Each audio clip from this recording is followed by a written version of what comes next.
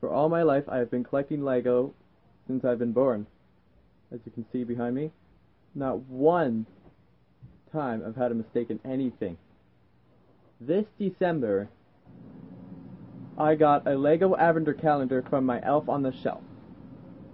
On the 23rd, I got a Santa sleigh with the Husky. I noticed something about the Husky. I look at it and it only has one eye. I then turn it sideways and realize something.